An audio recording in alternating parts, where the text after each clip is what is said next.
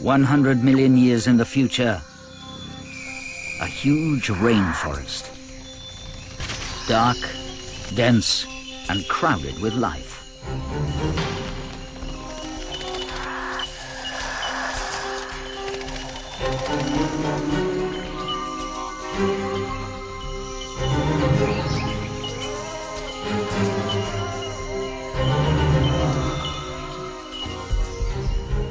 But this forest is really bizarre.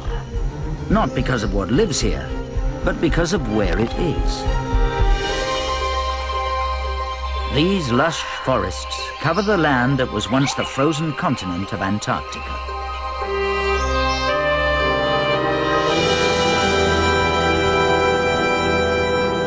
Today, Antarctica, lying over the South Pole, is buried under thousands of meters of ice.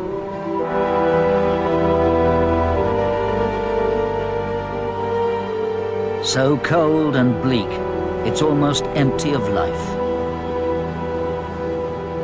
Well, Antarctica, which is presently located over the South Pole and glaciated, has in essence been sterilized of most living things by the presence of the ice that has just literally rubbed them off and offers no place for an animal or a plant to grow. But Antarctica hasn't always been an icy wilderness. Long ago, it was covered in forest. And it could be again because Antarctica is on the move. As we approach 100 million years in the future, it begins to move off the South Pole, move northwards into warmer environments.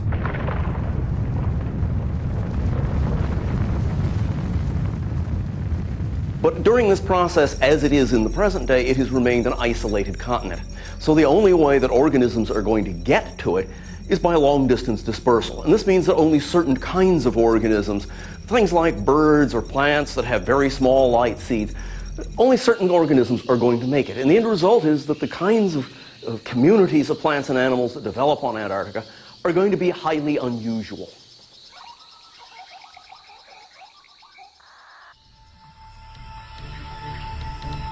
These Antarctic rainforests are crowded with life.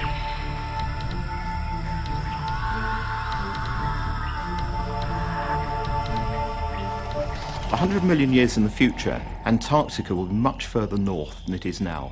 It'll be very different. It's not going to be covered in ice. It'll have trees and vegetation and all the animals which go with a habitat like that.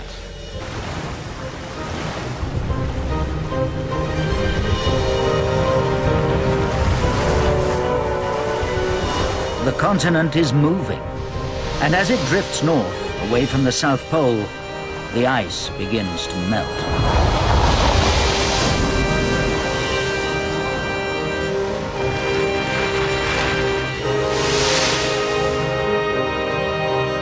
Further north, and the bare surface of the land is exposed for the first time in millions of years.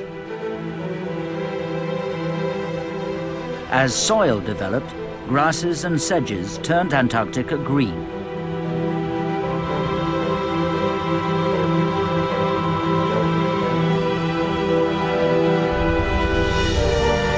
Eventually, millions of years later, Antarctica arrived in the temperate zone where trees could grow into the first forests. And once Antarctica reached the tropics, the cool temperate forests were replaced by dense rainforest.